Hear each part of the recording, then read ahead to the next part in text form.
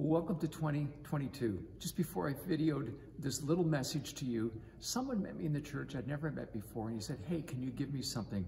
What's something that God's been teaching you?